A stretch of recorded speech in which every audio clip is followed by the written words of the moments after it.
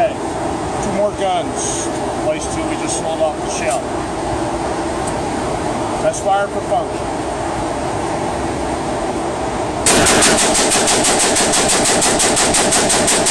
fun.